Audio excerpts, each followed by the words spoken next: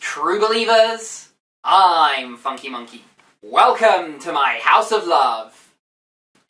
Now, with the recent announcement of Ben Affleck being cast as Batman in the latest of the DC Comics movie franchise, I've decided to offer an addendum to my review of the movie Daredevil, which was Ben Affleck's last comic book outing. Only this time, I've decided to look at the director's cut, which went straight to DVD in 2004.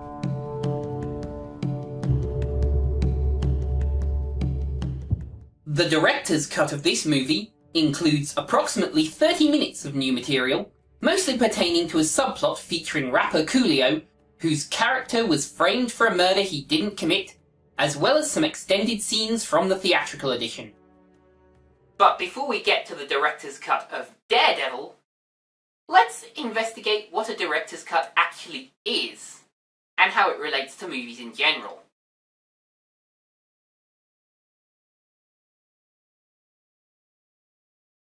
Traditionally, the final edit of a film will go through three different stages. First, the rough cut, which is the entire shot movie as scripted. Secondly, comes the editor's cut.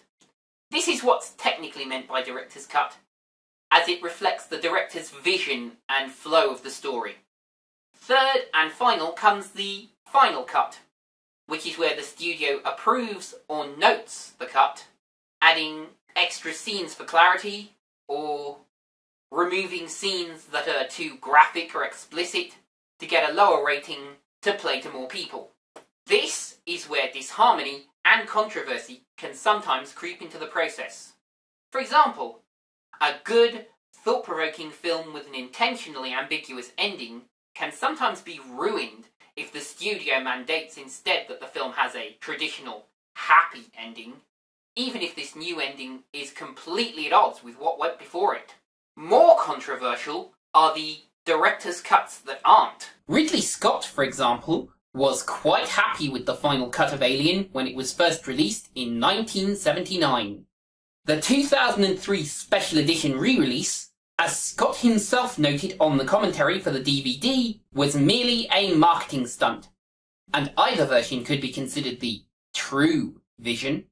Of course, Ridley Scott's most famous director's cut is that of the 1982 cyberpunk classic Blade Runner. But we won't be getting into the long and convoluted story of that particular movie today. Nor will we be discussing the works of Tinto Brass, whose movies are often known to exist in multiple versions. No, what we will be discussing today is the director's cut of Daredevil. So let's dispense with the preambles and get to it.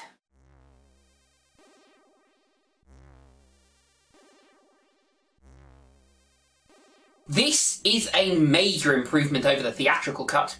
Will I still have personal dislike for Jennifer Garner? The much diminished focus on the romance, coupled with the much needed subplot concerning a dope smoking fall guy and the call girl for whose murder he's framed, serves not only to pad out this movie, but also to flesh it out, putting the meat of a movie on the bones of the theatrical version. Colin Farrell's demented, wild-eyed assassin Bullseye is pitch perfect, and Jon Favreau's Foggy Nelson is a perfect comic foil to Affleck's Murdock. Oh sure, it's still not perfect. The romance, while greatly reduced in focus, still remains forced and hammy, the comedic parts of the new subplot don't entirely work for me.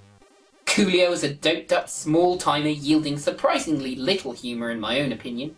Still, the movie is greatly improved by the extra material. The flow is much smoother, and you actually get a feel for the title character.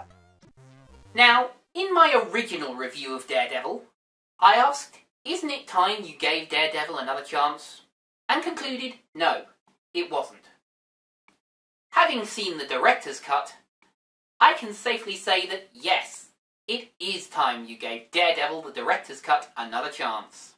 And before I leave you today, if you're wondering what my opinion on the whole Batfleck controversy is, I'm going to remain cautiously optimistic on the casting of Ben Affleck as the next incarnation of the Dark Knight.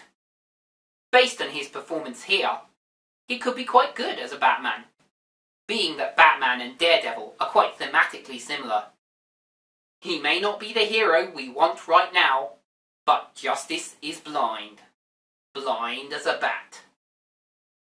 I've been Funky Monkey, and I'm reminding you all to stay safe out there and don't have nightmares. So long, folks.